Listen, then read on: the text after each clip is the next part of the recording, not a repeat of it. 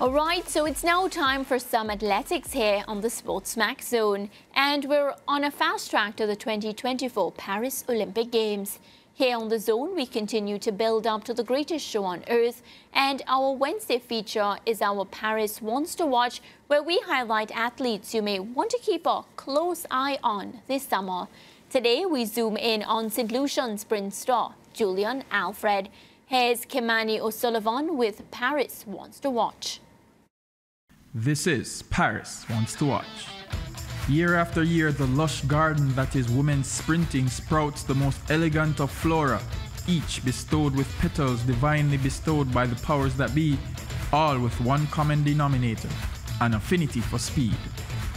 That trend continues as a beacon emanates from the Helen of the West, St. Lucia, from the streets of the Castries. Born on June 10, 2001, in Castries, Julien Alfred's meteoric rise to prominence in women's sprinting has been magical. My journey per se has been up. There have been highs and lows from injuries to making the sacrifice at an early age to go to Jamaica and live by myself. And I mean, even in the NCAA, sorry, Division One season, my past four seasons, I've been, you know, injured a few times, and it's hindered me from performing at this high level. A story spanning two Caribbean countries, St. Lucia and Jamaica, Alfred would take her talents to states where history would await the young sprinter.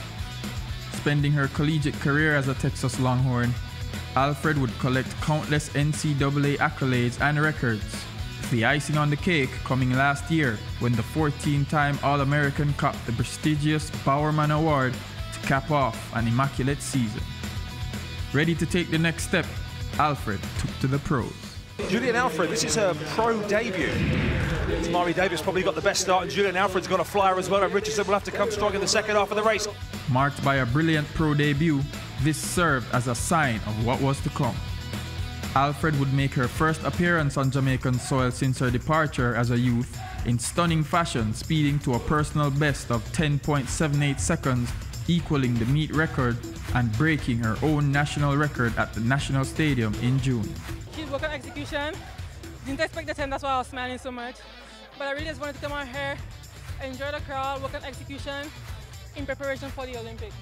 Training, train for a month, um, work on the basics again, and then go to Europe and prepare for the Olympics. With her eyes now set squarely on this summer's Olympic Games, Alfred has shown impeccable form on the European circuit two of her most notable wins coming against world-class competition over 200 meters. From Morrison. Oh, and Jackson pulls up.